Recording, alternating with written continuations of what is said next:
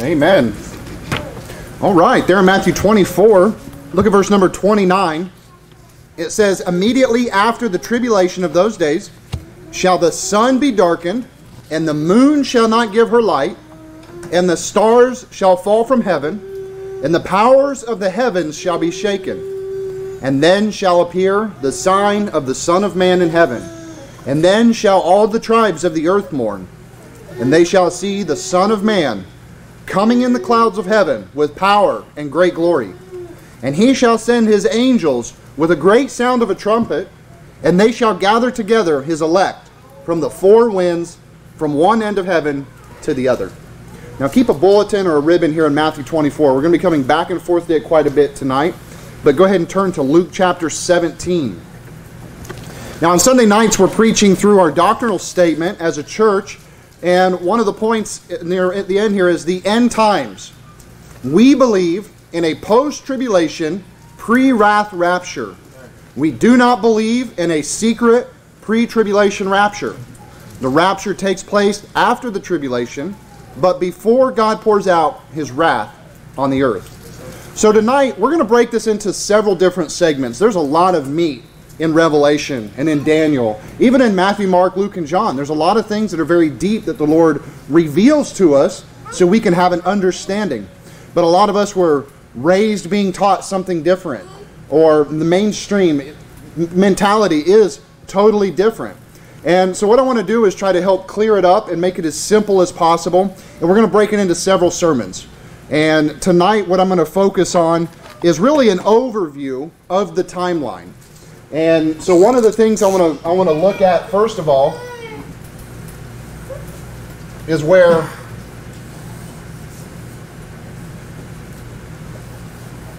just kind of make some markers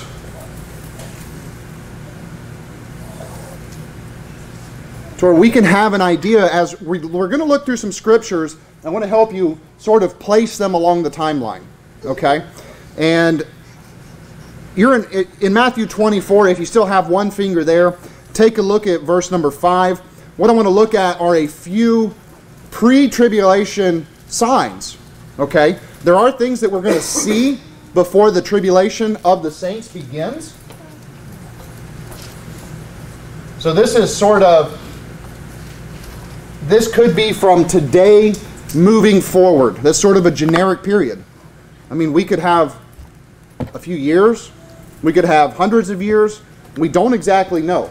There are certain things that we know that are like in the days of Noah or in the days of Sodom and Gomorrah that are very big indicators. There are certain things in the technology about the mark of the beast and the, the New World Order, all right, the Illuminati, Freemasonry. There are certain pieces that are in place that would allow the devil, the Antichrist, to work together to set up their kingdom and begin all of this. So we know that we're close just by looking at some of the signs, but I just want to show you a couple in the Bible.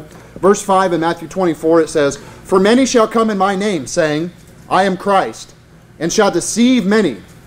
So there's going to be many false prophets that are gone out into the world, the Bible tells us. There's a lot of New Age spiritualists out there today that would say that I'm, I'm a Christ. I am a type of a Christ. They call this the Christ consciousness. This is a very common teaching throughout the entire world. In verse 6, he says, And ye shall hear of wars and rumors of wars, and see that ye be not troubled, for all these things must come to pass, but the end is not yet. So there's things that will happen that will begin to happen. A lot of false prophets. There's going to be false Christians. Yeah, that's true.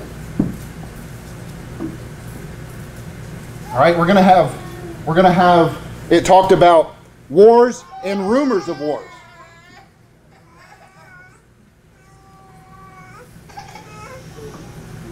Now you're in Luke 17, and you think about it, you know, are we in the end times right now? A lot of people try to say that because there are so many false religions. There are so many rumors of wars, especially here lately, especially with the political atmosphere that we're in. I mean, World War III could start any minute, literally any second is what I've been hearing for the past decade. Okay? I ju- oh, no, no, just kidding. False alarm. Yeah, but if Israel, well, if Iran, well, if Russia, well, if Syria, I mean, who's the boogeyman next, right? But this is all a ploy. This is the devil starting wars, and then there's rumors of wars. And these are, I think, some indicators that we are getting closer and closer. But just as it says, the end is not yet. In Luke 17, look at this. He says in verse 22, And he said unto the disciples, The days will come when ye shall desire to see one of the days of the Son of Man, and ye shall not see it. And they shall say to you, See here, or See there. Go not after them, nor follow them. Now flip to Luke 21. So there's going to be a strong desire for deliverance. God's people are going to be yearning in their spirit to just get out of here. I mean, you think about how, how Lot was vexed by their filthy conversation from day to day because he was surrounded by a bunch of perverts. Yeah. In the same way, when we go out into the world, when you go shopping with your children, yeah. and your soul gets vexed because of the music coming through the speakers, yeah. because of the perverts working the aisle, working in the store, walking around. I mean, as you just get like, oh, people are dressed inappropriately, acting inappropriately, saying things inappropriate, and it doesn't matter. God's God's hand. God's not going to judge them, and they, people have this attitude where it sort of makes us willing to depart, you know, ready to go to the Lord. Yeah. And this is one of the other signs that it talks about. Um, there's also going to be a strong deception, a devilish deception. And if you look at the media, if you look at the news, man, it's already happening. Look at Luke, Luke 21, verse 8. It says, Take heed that you be not deceived, for many shall come in my name, saying, I am Christ, and the time draweth near. Go ye not therefore after them. But when ye shall hear of wars and commotions, be not terrified, for these things must first come to pass, but the end is not by and by. So again, it's saying the same thing. It's going to seem like the world is in chaos, but the majority of it is rumors, especially in our side of the world. We don't have wars, we don't have gunfire in the streets. We live in peace for the most part. God has blessed us with the ability to have church and to, to have families and businesses. Now turn to Second Thessalonians chapter 2. So we're going to be desiring for his return. We're going to be dealing with deception. We're going to have a lot of fake Christians and fake Christ, false prophets, fake prophets coming on the scene, trying to deceive people and bewitch people. You know, and witchcraft in, in the mainstream today is very popular. And just as it was in the Old Testament, they mix it with Christianity. Because that was the problem with the children of Israel in the Old Testament is they would worship Dagon and Jehovah, yeah. right? They would have a statue to one God, and then they would give the Lord God Almighty lip service. They would still go to the temple. They might still tithe. They might still do certain things. And God hated that yeah. because their heart was not for God alone. Therefore, it was not for God at all. Amen. You know, one of the men was talking about a, a church during football season that put out, Here we worship God and football.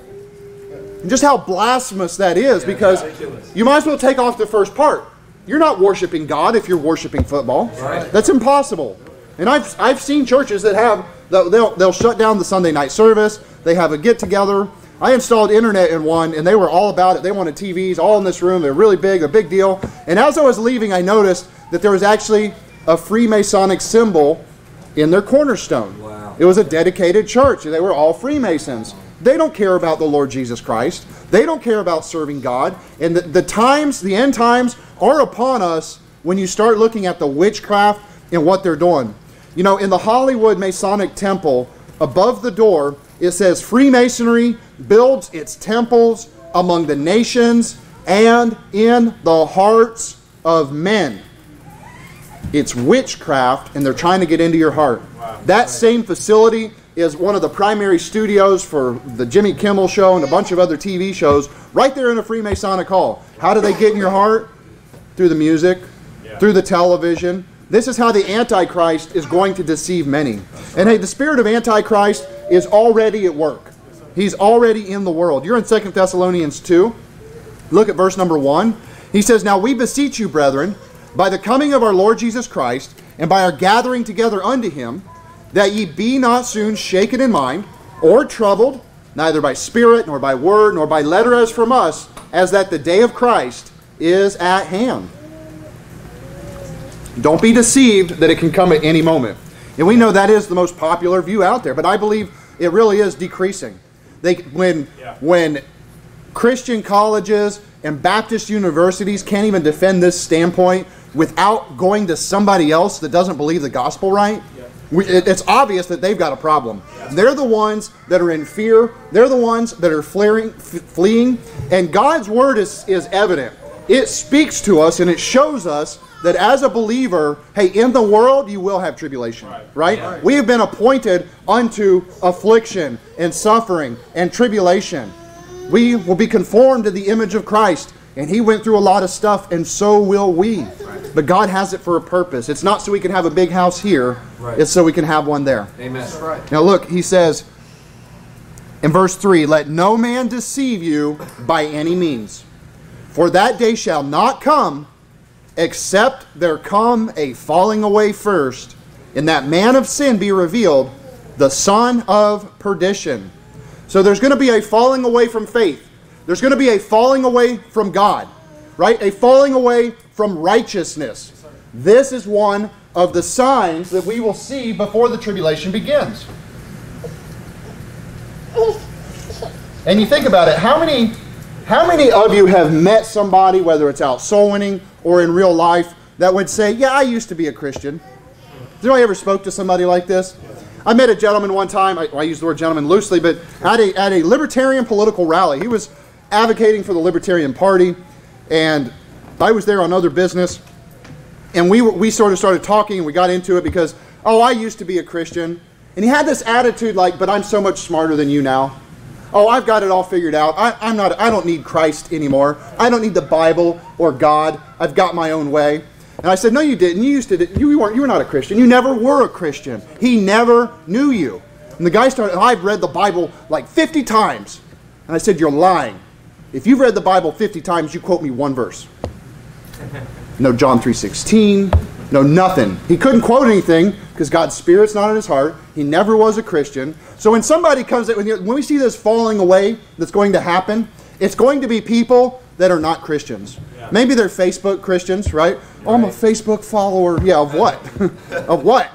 Because it's not of God, you know? It's just in, in your status symbol. It's kind of like saying, well, I'm not a, a Mohammedan, I'm not a Muslim, I'm not a Buddhist, so I'll just put Christian. And, and uh, checking a box does not make you a Christian. That's it's right. believing on the Lord Jesus Christ, and that's the only way to be saved. It's the only way to heaven. Amen. We will see this falling away. This is a big indicator. This is a, a big sign we will see of the end times. Now go ahead and go back to Matthew 24. Matthew 24. So some pre-trib signs will be fake Christians, rumors of wars, false signs. And not to be confused because there will be a, fall, a false Christ, the Antichrist. But before that, we're going to see a buildup of a lot of people claiming to be Christ, claiming to come in my name, as the Bible says, in God's name, but they're not of God at all. So then we're going to take a look next at the tribulation.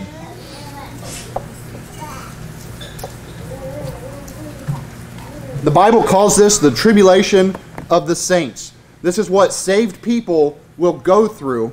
And there's several terms for it. We're going to look at a couple of them. But I'm going to read you, look at verse 7. We're going to look at some indicators to know when it's happening.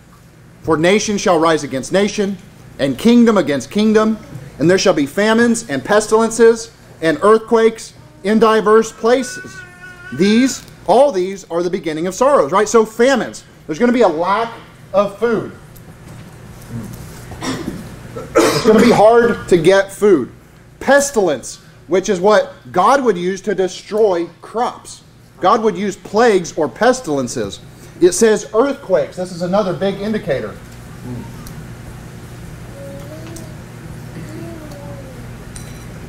There have been a, an increase of earthquakes, but I think what this is, is talking about is earthquakes that cannot be ignored.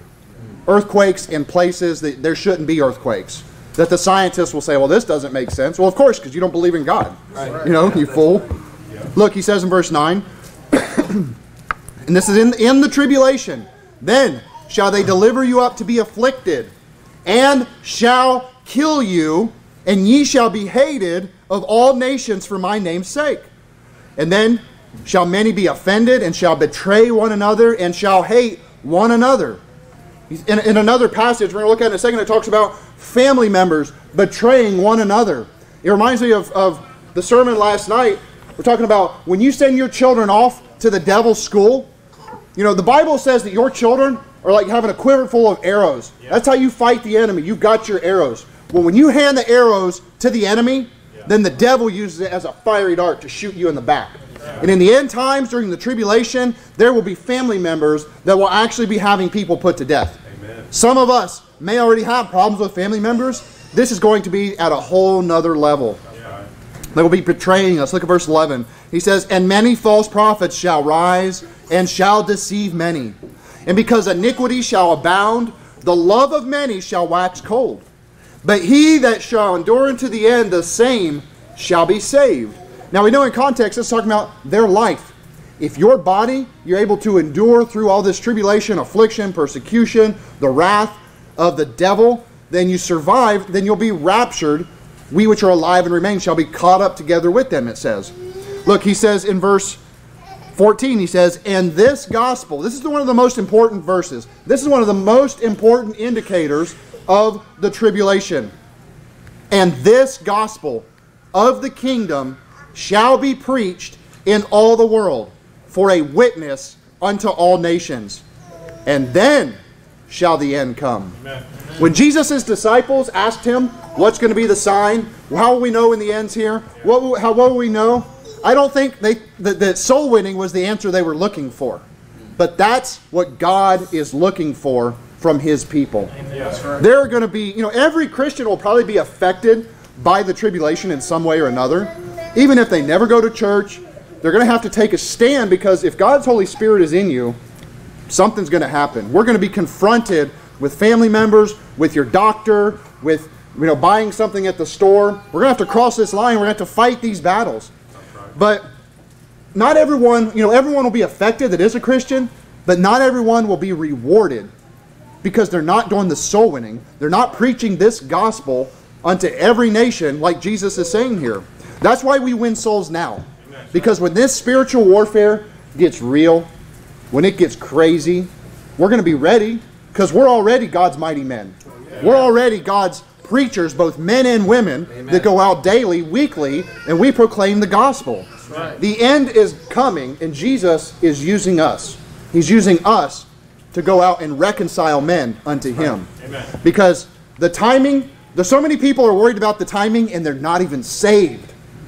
It's, it's just, it blows my mind how many people have an opinion on the timing and they want to draw their charts and yet they would say they have to stop sinning to go to heaven. Yeah, right. Guess what? They're not going to heaven. Right. Okay? They, these hyper dispensationalists, they are not going to heaven. They are not Christians. They're not Baptists. I don't care what label they use. When they turn salvation into a work and they say that God had other people work their way to heaven, you have just perverted the gospel of yeah. Jesus Christ. Yeah. The gospel of this kingdom that one day we will have a kingdom, God will rule and reign, and we will be with him. Now turn to Revelation chapter 12. We're going to look a little bit more about the tribulation. So it also says they're going to kill us. I'm going to put this on the list. But you know what? The soul winning.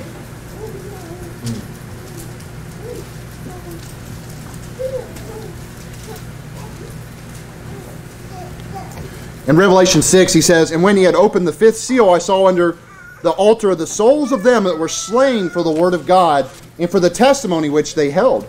And they cried with a loud voice, saying, How long, O Lord, holy and true, dost thou not judge and avenge our blood on them that dwell on the earth? And white robes were given unto every one of them. And it was said unto them that they should rest yet for a little season until their fellow servants also and their brethren should be killed as they were. And this should be fulfilled right? There are men and women that will die. God knows it. God wants it to happen. And this body doesn't matter. When it comes down to the tribulation, it, it, you know, it's not about this escapism, oh, I got to get out of here. It's about, okay, game on. Mm -hmm. I got to start winning souls. Yeah. Because the devil will be working fast, quickly, to use every power he has through the television, through the internet, mm -hmm. through friends and family to deceive people in their hearts, to set up a temple in their heart and say, This Antichrist, he is God. Let the devil be your God, and you'll have money, you'll have food. You don't have to worry about the famine and the pestilence. He's going to try to afflict people to convince them. Now, you're in Revelation 12, look at verse 9. And the great dragon was cast out, that old serpent, called the devil and Satan, which deceiveth the whole world. He was cast out into the earth, and his angels were cast out with him. And I heard a loud voice saying in heaven, Now is come salvation and strength, and the kingdom of our God, and the power of his Christ. For the accuser of our brethren is cast down, which accused them before our God day and night. So listen, the devil, during the tribulation, he's cast down out of heaven. He comes down to the earth. For what purpose? You see what it says there? Look at verse 11. It says, And they overcame him by the blood of the Lamb and the word of their testimony, and they loved not their lives unto the death. Therefore, rejoice, ye heavens, and ye that dwell in them. Woe to the inhabitants of the earth and of the sea, for the devil is come down unto you, having great wrath because he knoweth that he hath but a short time.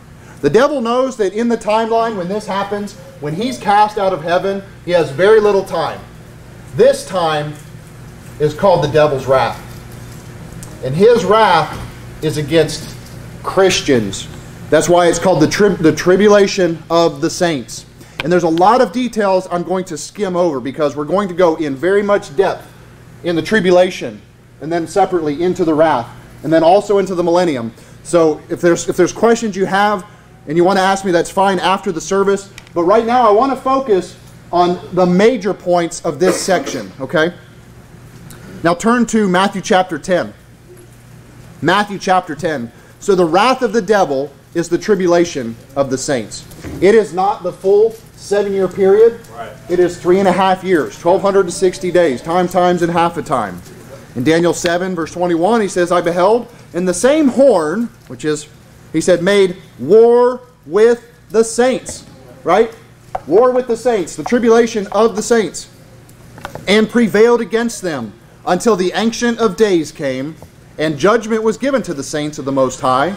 And the time came that the saints possessed the kingdom, and he shall speak great words against the Most High, and shall wear out the saints of the Most High, and think to change times and laws, and they shall be given into his hand until times Time, times, and the dividing of time. So in other words, there's your three and a half year period. And now when it says change the laws, I've heard a lot of men over the years say oh, they're going to make it illegal to have a Bible. And that may be true, but you know, there's so many fake Bibles out there. You know, the devil doesn't really have to make it illegal to have a Bible. All he has to do is make it popular to have the wrong Bible. Right. And he can be just as successful. Right. You know, but what I think the laws that will be changed, because it says they're going to hate us, right? Today they accuse us of hate speech when we say hell is real. And if you don't believe on the Lord Jesus Christ, you're going to go to hell. They, they accuse us of hate speech when we say that sodomites are child molesters and we don't want them in our church. They hate us for saying that. And I think some of the content of the Bible about hell, about public preaching, about door knocking, these are the things they'll probably make illegal. They may try to make it illegal to hold a church. They may try to make it illegal to even have a Bible. But like I said, if, all the devil has to do is get a bunch of fake Bibles out there and water it down. Yeah. Because like we said, you know, there, there's going to be a falling away first. We're going to see so many fake Christians, and they're going to lead a multitude to do evil. You're in Matthew chapter 10.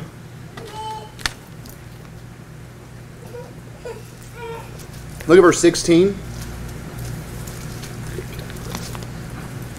Behold, I send you forth as sheep in the midst of wolves. Be ye therefore wise as serpents and harmless as doves. The Lord doesn't want us wrestling with flesh and blood. Okay? If anybody comes in this church and says, I got a, I got a way we're going to get back at the government, we need to run them out of here. Okay? We are not here about trying to fight the government with fists and our bullets and things like that. That doesn't make sense that's that's just total foolishness. I mean, the people that I'm going to store up a bunch of ammo and you can come take it from me. Yeah, okay, they'll just send a cruise missile to your front door, right? Or Patriot missile, or you know, I mean, really, what do they need? I mean, why would they want to have a standoff with you when they can just push a button and watch you burn? You know what I mean? And listen, this is not what God wants from us. That is the spirit of fear. We cannot fight the government by filling out a special document and giving ourselves a special title. Okay? We can't fight the government by storing up on ammo or stocking up on food. And listen, there's nothing wrong with being prepared for what might happen, but when that becomes your primary focus out of a spirit of fear, you've already lost. The devil has got you. Look, he says in verse 17, but beware of men, for they will deliver you up into councils, and they will scourge you in their synagogues. And ye shall be brought before governors and kings for my sake, for a testimony against them and the Gentiles. But when they deliver you up, take no thought how or what ye shall speak. For it shall be given you in that same hour what ye shall speak. For it is not ye that speak, but the Spirit of your Father which speaketh in you. Go back to Matthew 24. Take no thought. If, if the devil persecutes you, if you get in a situation, it's not about, I know what I'll tell them. It's like, I know God's going to give me something. I trust the Lord. I have confidence in the Lord. His Spirit will work through me. And this is the confidence that God wants us to have. Amen. Now, with this, we have a few other things on the timeline. It mentioned a judgment. We're not going to get into that tonight. We have the Antichrist coming, we have the resurrection. We're going to look at the Antichrist and the abomination of desolation. Okay? The abomination of desolation is one of the last little things. I don't have a lot of space here. But in Matthew 24, look at, well, before I read that, let me read this to you. In Daniel 11, it says, And such as do wickedly against the covenant shall he corrupt by flatteries. But the people that do know their God shall be strong and do exploits. That's us. Yeah. God wants us to do exploits and show the wickedness of the devil's works. Yes. We need to fight back. And they that understand among the people shall instruct many, yet they shall fall by the sword and by flame, by captivity and spoil many days.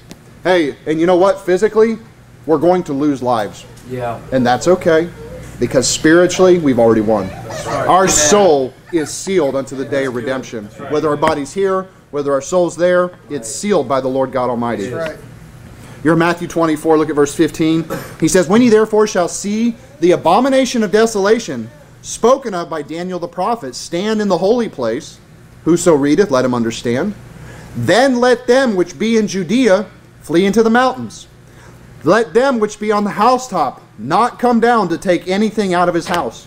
Neither let him which is in the field return back to take his clothes. And woe unto them that are with child and to them that give suck in those days. All right, this doesn't mean stop having kids now out of fear. I've seen people that have this, oh, woe unto you, we don't have a bunch of kids. No, we're supposed to have kids. That's a blessing of God. We're supposed to lead them and teach them and warn them of things to come. We're supposed to prepare them spiritually, even for this. But pray ye that your flight be in the winter, neither on the Sabbath day, for then shall be great tribulation, such as was not since the beginning of the world to this time, no, nor shall ever be. Now turn to Luke 21. So at the end of the period of the tribulation, it's really going to ramp up. There's going to be the great tribulation. It's going to get very heated. Yeah. In Daniel 11, what he was re- referring to here, he says, "And arms shall stand on his part, and they shall pollute the sanctuary of strength, and shall take away the daily sacrifice, and they shall place the abomination that maketh desolate. And from the time that the daily sacrifice shall be taken away, and the abomination that maketh desolate set up, there shall be a thousand two hundred and ninety days. And when ye shall see Jerusalem compassed with armies, then know that the desolation thereof is nigh. I'm sorry, you're in Luke 21. I read ahead here. So you're in Luke 21. Look at verse 20. That's what I just read for you. And when ye shall see Jerusalem compassed with armies, then know that the desolation thereof is nigh. So when Daniel warned us about the abomination of desolation, and he gives us a timeline of the things to come, and we know that there's a resurrection in between there, what's going to happen is right there at the end of it, we're going to see Jerusalem encompassed with armies. This parallel is where in Matthew 24, where it said the abomination of desolation, in Luke 21, it tells us Jerusalem encompassed with armies. Jerusalem will be desolate. It, Jerusalem is, it's, it's funny because for the past thousands of years, people have been fighting over Jerusalem yeah. for political control and religious control, and yet God has a plan for it. And God doesn't want to rule from some filthy city on a bunch of dirty blocks, yeah. right? God's going to make all things new. Yeah, right. And people don't understand that. In the Bible, the word Holy Land is only used one time, and it's talking about when the Lord is there and He's ruling, when He yeah. heals the earth. That hasn't happened yet. There's nothing holy about that land, about that dirt over there, right? Look, he says in verse 21 Then let them which be, are in Judea flee to the mountains, and them which are in the midst of it depart out.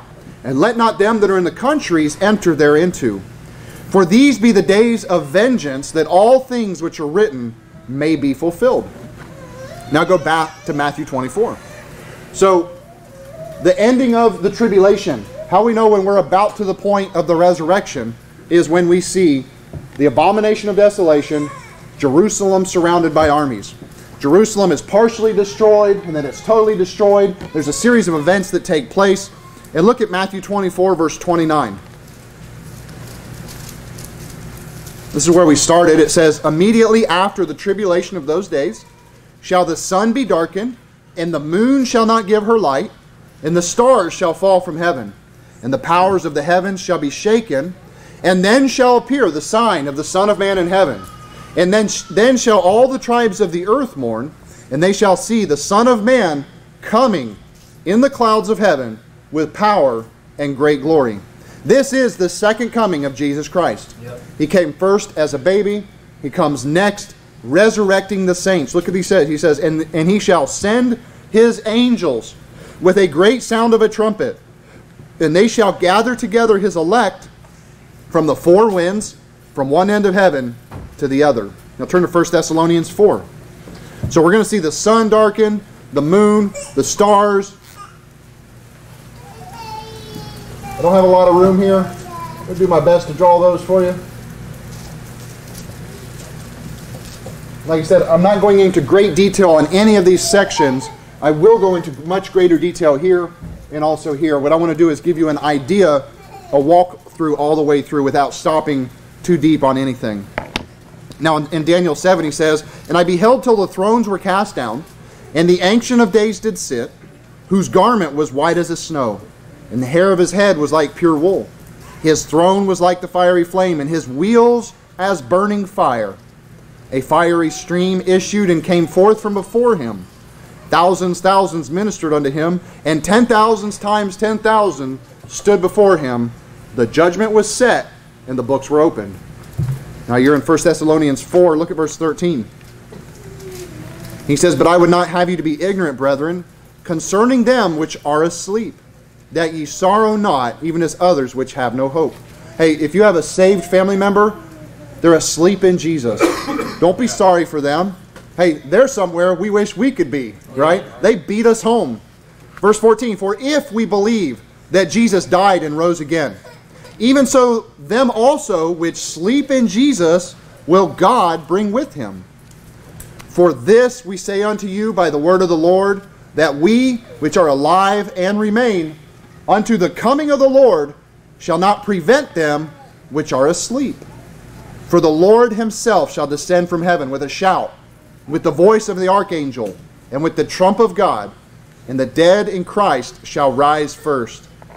Then we which are alive and remain shall be caught up together with them in the clouds to meet the Lord in the air, and so shall we ever be with the Lord. Wherefore, comfort one another with these words. So, what he's saying here is the, the saints that are already dead, your family members that are Christians that are already dead, we're going to see them come first with Jesus, and then we will actually be resurrected. There's a, there's a spacing there. And again, it calls it the coming of the Lord. Yeah. It's very clear in the Bible that the coming of the Lord is the return of Christ, it's the resurrection of the saints. 1 Corinthians 15 gives us great detail about that. We're going to be looking at that in one of the next sermons. Now we're going to look at the time that the Bible calls the wrath.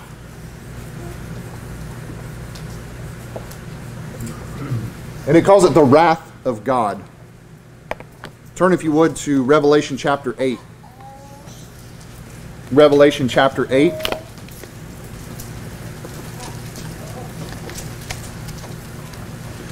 In Joel 2, verse 30, he says, I will show wonders in the heavens and the earth, blood and fire and pillars of smoke.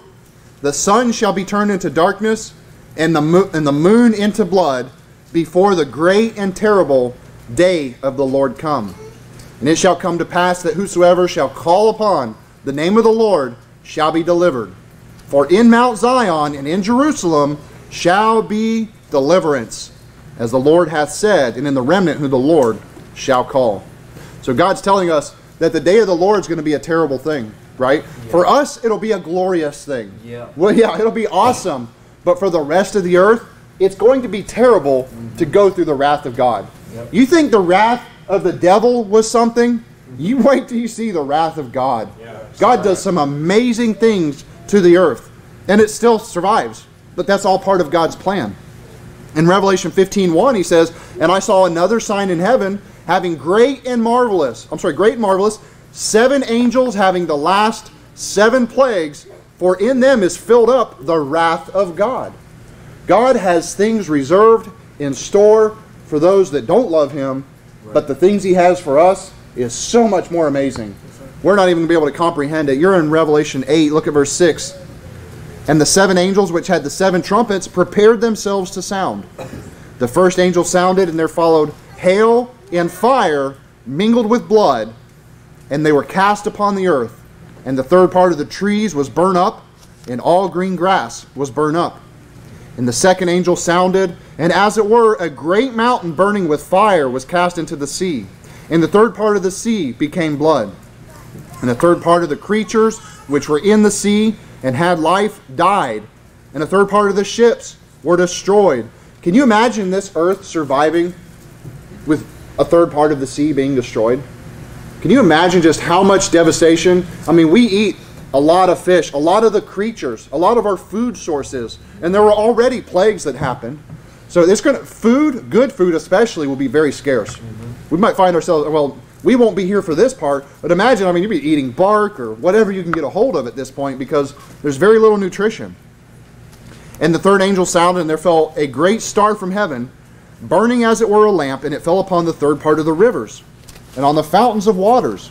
And the name of the star is called Wormwood, and the third part of the waters became wormwood, and many men died of the waters because they were made bitter. So, again, so the waters become poison, and it begins to kill people. And maybe it's like fluoride or something, only worse, right? Yeah. he says, And the fourth angel sounded, and the third part of the sun was smitten, and a third part of the moon, and a third part of the stars. So as the third part of them was darkened, the day shone not for a third part of it, and the night likewise. Imagine, even after the plants are destroyed, what plants remain are only getting, you know, we're uh, getting a third less sunlight than they need. So now things will stop flourishing. The whole earth is slowly becoming to a halt as the Lord, one thing after another, begins to pour out his wrath on the Antichrist, on his kingdom. And it comes to a head at, at Armageddon. It comes to a point where there's a mighty war where, where God destroys a lot of the wicked people. And I beheld and, and I heard an angel flying through the midst of heaven, saying with a loud voice, Woe, woe, woe to the inhabitants of the earth, by the reason of the other voices of the trumpet of three angels which are yet to sound. Even after all this, he's like, wait till you see what God has next. Yeah. Turn to Ezekiel chapter 47. Ezekiel 47. So, in the time of God's wrath, he'll take it from the Antichrist. It comes to a head. And with all this, the Lord ultimately is going to set up his kingdom. I want to talk about the kingdom a little bit.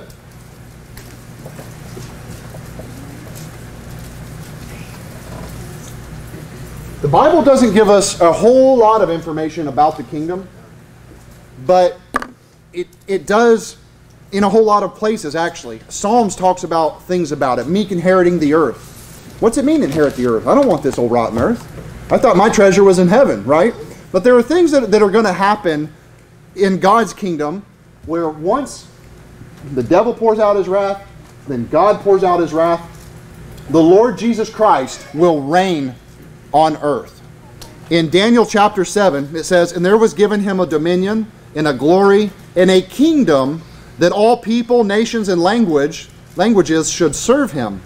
His dominion is an everlasting dominion, which shall not pass away, and his kingdom that which shall not be destroyed. So in Daniel, it's, it's telling us about how when the Lord comes back, it's going to be like no other kingdom that's ever existed. It's going to be amazing. In another part, it talks about a child living to be 100 years old. God is going to, there won't be death and disease and sorrow.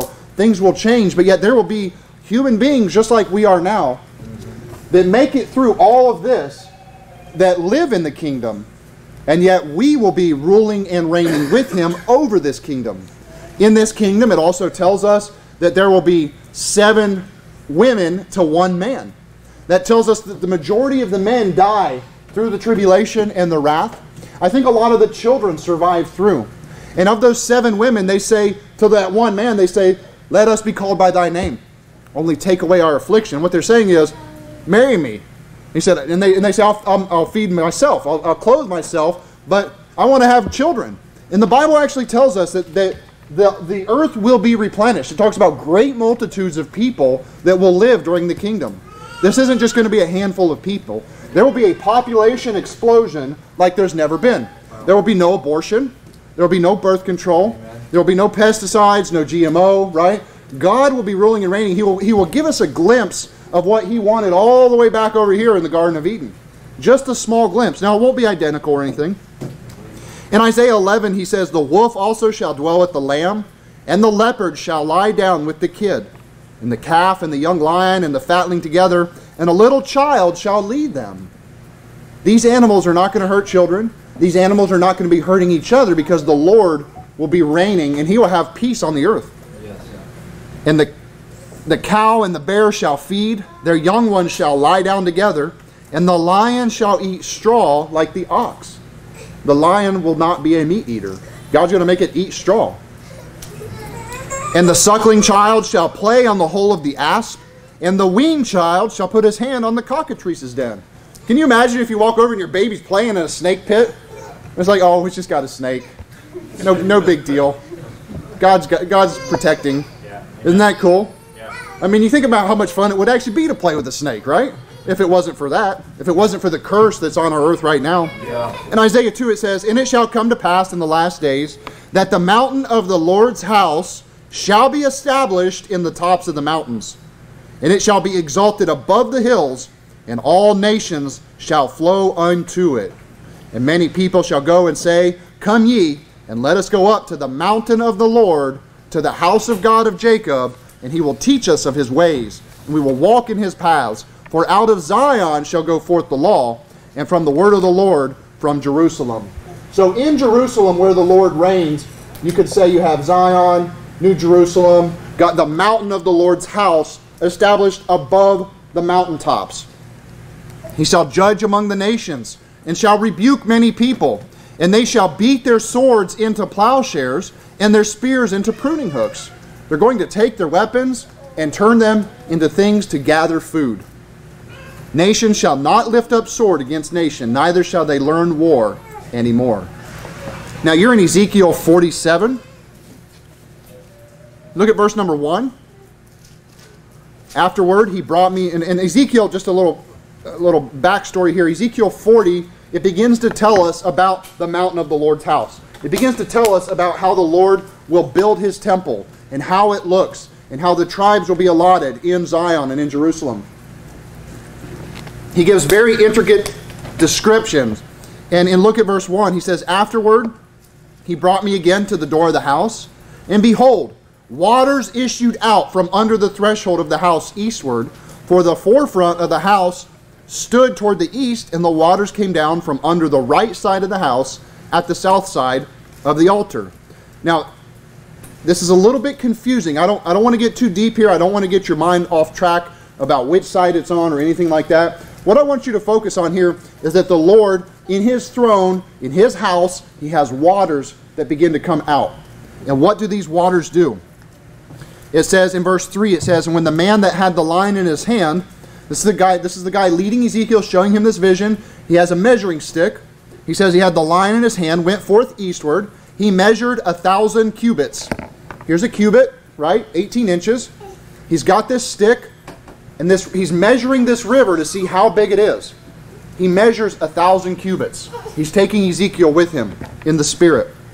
He says, He measured a thousand cubits, and he brought me through the waters. The waters were to the ankles. So after a thousand cubits, it's just ankle deep. Again, he measured a thousand and brought me through the waters, and the waters were to the knees. Again, he measured a thousand and brought me through, and the waters were to the loins. Afterward, he measured a thousand, and it was a river that I could not pass over, for the waters were risen, waters to swim in, a river that could not be passed over. So in other words, he's saying there's a river coming out of God's throne, out of God's mountain, and it's so big that a man cannot swim across it. He makes him measure it to understand, to comprehend just how big it is. Well, what is this river? What's the point of this river? He says in verse 6 he says, And he said unto me, Son of man, hast thou seen this? Then he brought me and caused me to return to the brink of the river. Now when I had returned, behold, at the brink of the river were very many trees on the one side and on the other. Then said he unto me, These waters issue out toward the east country, and go down into the desert, and go into the sea, which being brought forth into the sea, the waters shall be healed. This is the river of life. This is God, after all the destruction, beginning to heal the earth. He says, Wherever these waters go, it's going to heal the earth. Look at verse 9. And it shall come to pass that everything that liveth, which moveth, whithersoever the river shall come, shall live. And there shall be a very great multitude of fish, because these waters shall come thither. For they shall be healed, and everything shall live whither the river cometh. And it shall come to pass that the fishers shall stand upon it from Engedi even unto Eneglaim. And it shall be a place to spread forth nets. Their fish shall be according to their kinds, and the fish of the great sea exceeding many. So remember, all everything was poisoned. There was, you know, there was all this damage on the earth, and now the Lord is showing His great and mighty hand and His yes. love toward human people Amen. by restoring the earth and healing everything. But the miry places thereof and the marshes thereof shall not be healed, they shall be given to salt. And by the river, look at verse 12, this is very interesting. And by the river upon the bank thereof, on this side and on that shall grow all trees for meat, whose leaf shall not fade, neither shall the fruit thereof be consumed. It shall bring forth new fruit according to his months, because their waters they issued out of the sanctuary, and the fruit thereof shall be for meat and the leaf thereof for medicine. This is the tree of life. It's giving fruit by the months, it's for healing of the nations, and it's going to sustain life. Now turn to Revelation 21. So in the kingdom, God will heal. There will be peace. There's the tree of life. There's the river of life. And this is just a glimpse of dwelling with the Lord. What we see when we get to the new earth, I don't think this body or this mind can even comprehend. Yeah. In 1 Corinthians 15, it tells us there are bodies terrestrial. I'm a terrain. I'm on the terrain. My feet are on the ground, right? And it says there are bodies celestial. Just as the Lord Jesus Christ, when he was resurrected, had a supernatural body, he didn't have blood in his veins. He could walk through walls. He could disappear. I think we're going to be similar in that aspect. And so a world fit for beings made like that. would be very interesting, very cool.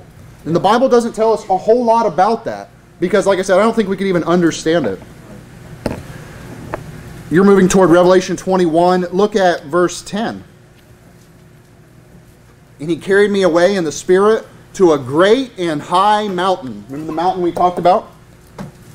And showed me that great city, the holy Jerusalem, descending out of heaven from God. And he showed me a pure river of water of life, clear as crystal, proceeding out of the throne of God and of the Lamb.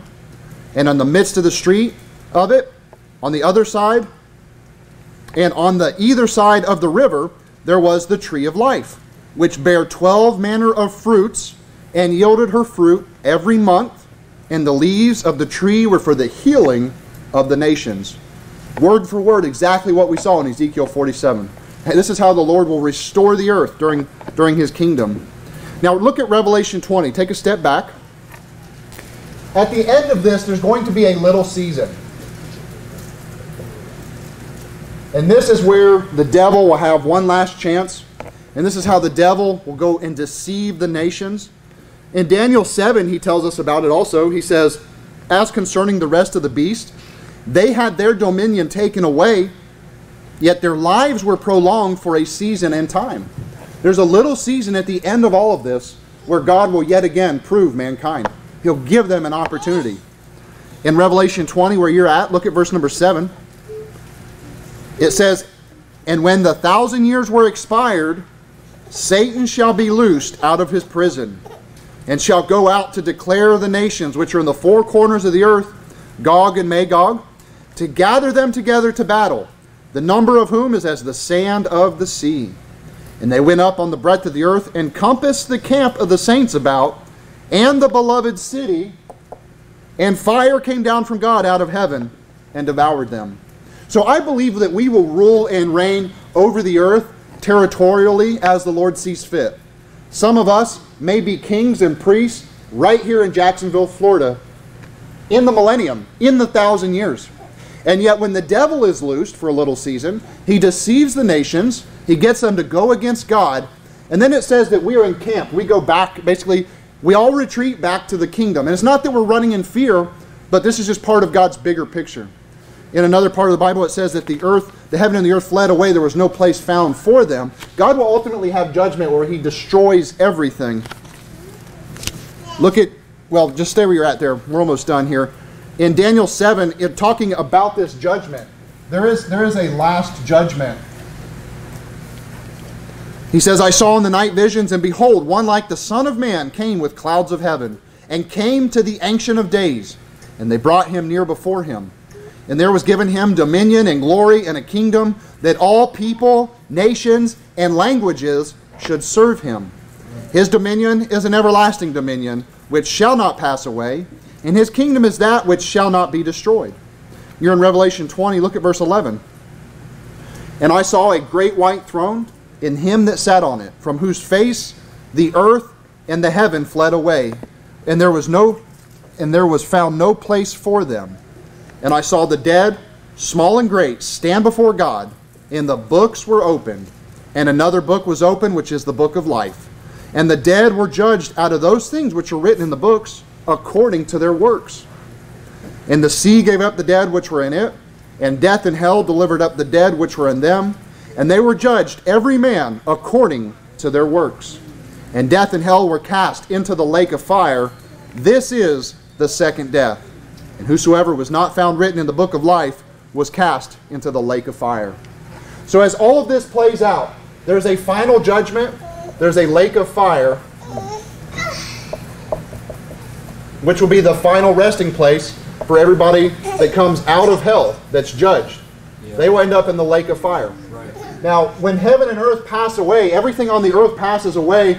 The, tri- the saints are with God in his mountain, right? In his house right? In my house are many mansions. We are built up like lively stones, right? The anchor of our soul is with the Lord. So we will be with the Lord as earth disappears and the heaven disappears. And when it says heaven, I believe it means all of the heavens. The Bible teaches us in Genesis 1 in the beginning was the heaven and the earth. If your Bible says heavens, plural, it's wrong. Throw it away. Because later God creates the heavens, our atmosphere and our sky, the heavens, the cosmos, or the stars. It was on the first day that He created the heaven, His dwelling place. The Bible calls it the third heaven.